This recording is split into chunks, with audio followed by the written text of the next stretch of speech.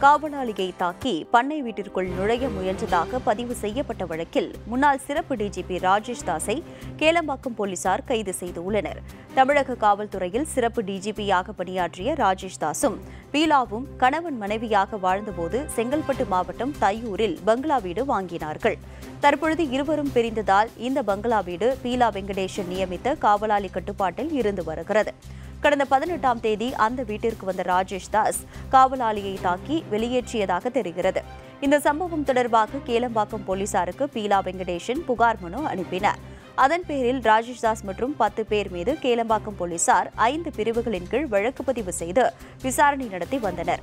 இதன் தொடர்ச்சியாக ராஜேஷ் தாஸை சென்னை பனையூரில் உள்ள இல்லத்தில் வைத்து கேளம்பாக்கம் போலீசார் இன்று கைது செய்துள்ளனர்.